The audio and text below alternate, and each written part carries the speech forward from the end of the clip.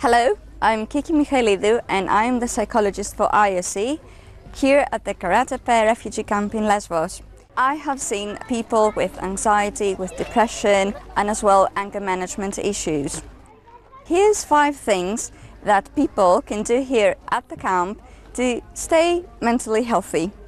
Number one, psychological support for individuals and families with trained psychologists for those who need help with their mental health, as well as relaxation and parenting skills groups.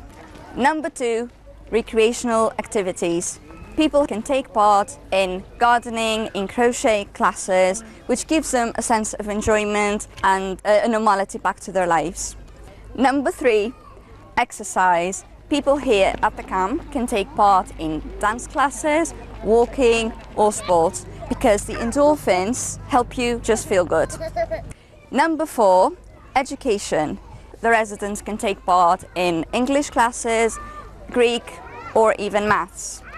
And that gives them a sense of structure in their days and that keeps them mentally stimulated. Finally, number five, volunteering.